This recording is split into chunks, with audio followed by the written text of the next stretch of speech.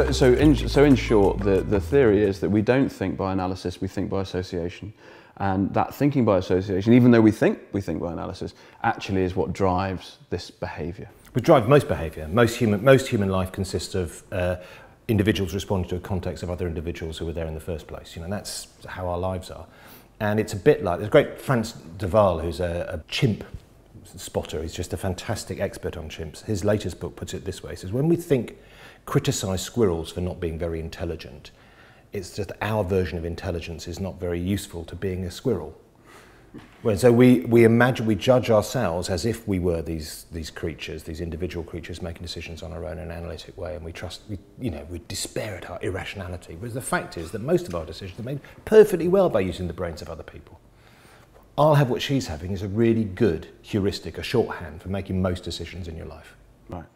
Uh, however, when challenged on it, you do think that the individuality comes out and you say, no, no, I'm actually totally autonomous and I make these decisions without that influence. Is that yeah, the case? No, no, I think that's right. And is that why so many people have been written about as the consumer, the individual? That I think so many people have been written about in our culture.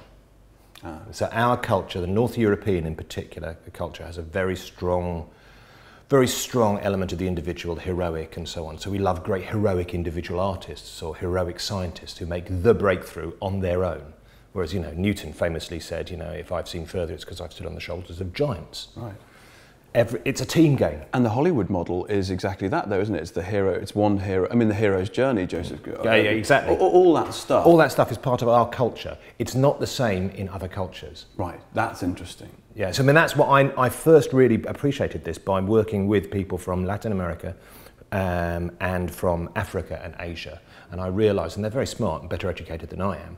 And I, very, I realised the conversations we were having about how people behave, they've been very polite, uh, but they've had fundamentally, at a cultural level, had a very different conception of what it is to be human. Right. Um, can you define the difference? So the difference is, on the one hand, you have something like, for example, in Africa, the notion of Ubuntu, mm. which is us together, or, or, or a mutuality. So my happiness depends on your happiness, for example.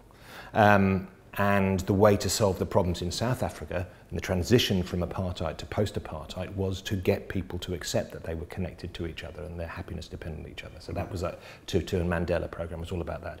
In our culture, the extreme of it is Ayn Rand. Says there are certain unique special individuals who are just so important, the wealth creators we might call them, the triumphant heroes. And it's just such nonsense because none of us stands on our own. The history of human culture even if you even if you ignore Africa, Asia and Latin America, even ignore all of that, is individuals taking things that other people have done and making something with them. All of us stand on an incredibly long line of stuff that, you know, how do, how do we know to make, to do the coffee stuff that we do? You and I have been drinking coffee this morning, talking about bad coffee, and this is rather fine. Um, the, um, how do we know how to make it? How do we know how to get the get to dig the gas out of the ground and to transport it. We don't. We rely on someone else to do it. We rely on someone else who have perfected that technology. But, but we've glorified the individual. Ah, totally. It's a sort of libertarian's wet dream, you know, that, that I've done all this on my own. And this is very Ayn Randian. Uh, totally. Yeah, I've done it all on my own. Just like when someone says, this is a great piece of, there's a great piece of work that I did. You go, well, it's a great piece of work that's based on the work of millions of other people.